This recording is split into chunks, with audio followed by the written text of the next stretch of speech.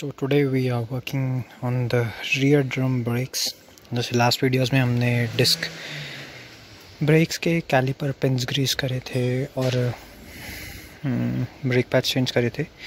अभी same case इधर है बट ये डिस्क ब्रेक्स नहीं है ड्रम ब्रेक्स है। तो मैंने अभी तक कुछ नहीं किया है, मैंने सिर्फ़ जैक लगाया है और व्हील रिमूव कर लिया है। उसके बाद मैं आपको धीरे धीरे बताता हुआ चलता हूँ कि यहाँ पे हमें क्या क्या करना है और अगर खुला हुआ है तो क्या क्या चेक कर सकते हैं और नेक्स्ट स्टेप, अगर कोई चीज़ ख़राब है तो उसे कैसे करनी है? अब द नेक्स्ट स्टेप इज़ कि व्हील रिमूव होने के बाद आपने हैंड ब्रेक उतार देनी है। हैंड ब्रेक उतार देंगे और फ्रंट व्हील्स के आगे और पीछे वाली साइड उसे चौक ऑफ़ कर देंगे ए पत्थर लेके, ईंट लेके with help of a brake and आपको फिर इसे रोटेट करके देखना है कि ईज़िली रोटेट हो रहा है। जैसे मेरा बहुत ईज़िली रोटेट हो रहा है तो इसका मतलब ये सीज अप तो नहीं है। वन थिंग्स गुड अब इसको खोलना कैसे है?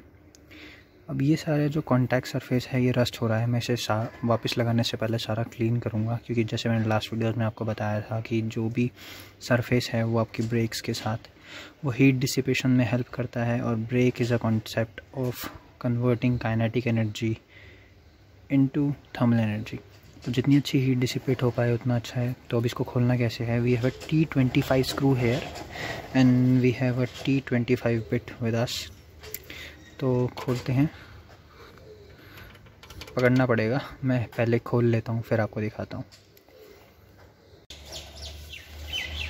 Okay the bit is actually T thirty not T twenty five वो पहले लग गई थी एंड थोड़ी सी लूज़ थी एंड लेटर ऑन रियलाइज़ की टी थर्टी है। सो so, हमने स्क्रू को खोल लिया है। The next thing we are do is we are put the screw aside we gonna put the screw aside and we gonna try removing this thing drum यहाँ से separate होता है। From the slip this thing does not move just a second this thing does not move but this does. So हमें सिर्फ़ ये ही चीज़ बाहर निकालनी है। इस टाइम तो ये जैम्ड अप है तो हमें क्या करना है? हमें इस पर थोड़ा सा बीट करना है, इस सरफेस पे with the help of a hammer और ये बाहर आ जाएगी।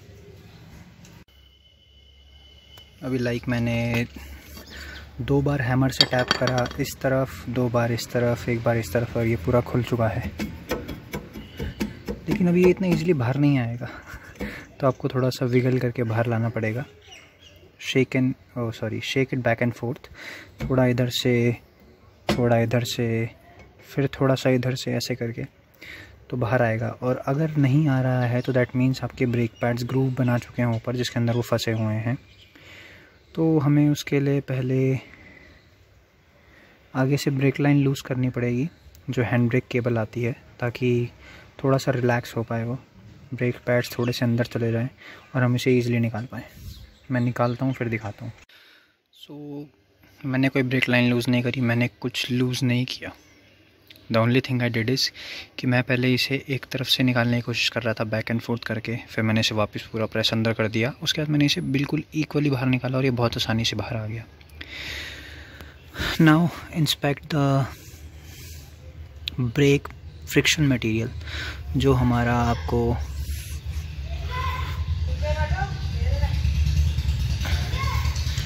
now we can see it easily तो अभी तो बहुत सारा पड़ा है। And I guess I have driven have driven somewhere around 68,000 kilometers and I feel like कि अभी 60 और एट और चल जाएगा। We we gonna change it at somewhere around 1 lakh kilometers or 1 lakh 20,000 kilometers जबकि मेरे पास ब्रेक पैड्स ऑलरेडी पड़े हैं इसके same O E M product मैं आपको पार्ट नंबर दे दूँगा just in case you want change और अभी हम इसे बस क्लीन करेंगे with the help of a brush with help of a brush जो सरफेसेस रस्ट वाले हैं, उसे क्लीन करेंगे, रस्ट फ्री करेंगे, ताकि कांटेक्ट अच्छा रहे। And we gonna check bearing bearing भी स्मूथ है नो इश्यूज़ सो बेसिकली हमारा इसका काम सिर्फ़ अब क्लीनिंग का रहेगा, क्योंकि ब्रेक पैड्स चेंज करने की नीड तो पड़ी ही नहीं। बाकी क्लीन करता हूँ, फिर आपको दिखाता हूँ। अभी हमने जो ब्रेक सेटअप है, वो सारा क्लीन कर लिया है। Next thing we have to check is the surface of the brake तो जो इसका रोटर है एक्चुअली इसे रोटर नहीं कहते, इसे ड्रम कहते हैं। तो इस ड्रम को आपको यहाँ पे हाथ लगा के फील करना है। अगर ये प्लेन है तो सही है। अगर इस पर आपको ग्रूव्स या लाइंस फील हो रही हैं तो आपको इसको लेकर लेट शॉप जाना पड़ेगा या नया ख़रीदना पड़ेगा। जस्ट इन केस कोई नया ख़रीदना चाहता हो तो here is the part number it's six R U six zero nine six one seven so अब ये करने के बाद हमें क्लीनिंग पूरी क्लीनिंग करने का प्रोसेस ख़त्म क्लीनिंग का प्रोसेस ख़त्म करने के बाद हमें इसे वापस इंस्टॉल करना है और हमें बेसिकली अब हमारा काम सिर्फ़ ये रह गया है कि हमें इसका जो कॉन्टैक्ट सरफेस है उसे क्लीन करना है, क्योंकि हमने ब्रेक्स क्लीन तो कर दिए हैं अच्छे से। तो this is how you clean the rear drum brakes on a Volkswagen और स्कॉडा